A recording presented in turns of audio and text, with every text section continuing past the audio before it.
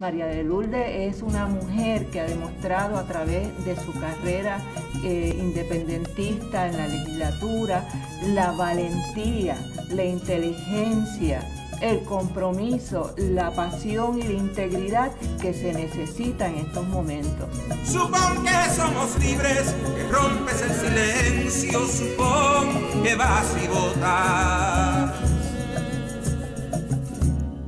Usando el corazón